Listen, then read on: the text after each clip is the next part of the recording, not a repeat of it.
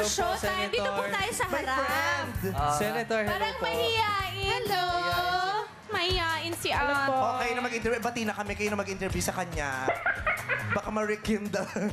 Ay, kamusta po kayo?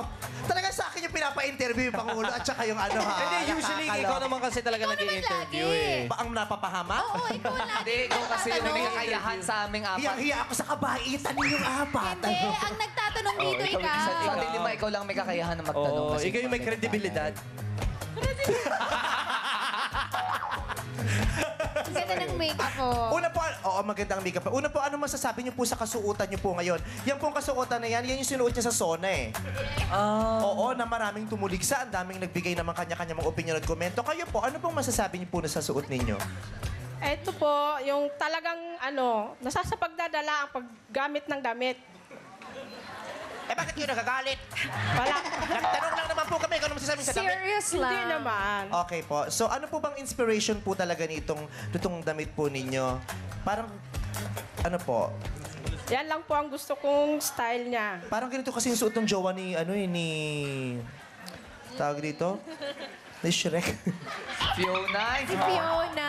green. Princess Fiona. Princess, oh, princess kasi siya. Oo. Fiona. Pero ngayon, ano po mga panibago nyo mga pinagkakabalan ngayon, Senator?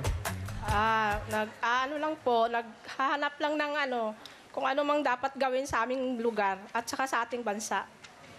So ano na pong mga nahanap nyo so Apo, far? Masaya po kayo dun. Kasi naghahanap po kayo ng mga gagawin. Ano pong mga nahanap nyo? Ah, ang nahanap ko ay kailangang ma- mapagbigyan ng ano ang mga, ang mga Parang bata. tutumba po kayo. Parang Matatakot po kasi. Balance sila. Hindi, tutum hindi tutumba yan. Ano siya? Aangat Mapagbigyan yan, tuon balloon ang mga mapagbigyan tuon ang kabataan sa panahon ngayon.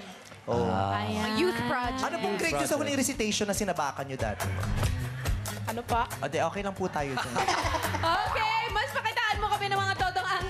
pang Senator Nancy Binay. Good luck! Good luck po! Malang people, Marilyn Bello ng Barangay Bagong Silangan, Quezon City, a.k.a. Senator Nancy Bina. Sabihin man nila kung anong gusto nilang sabihin. Tuloy pa rin akong maglingkod sa ating bayan. Basta't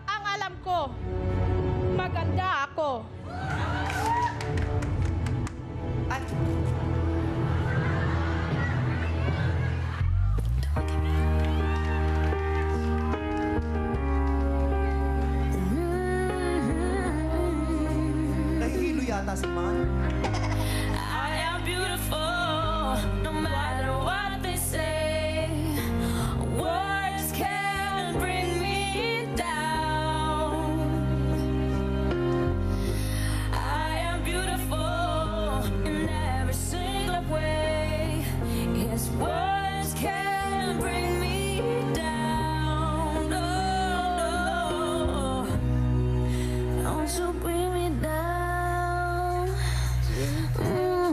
today.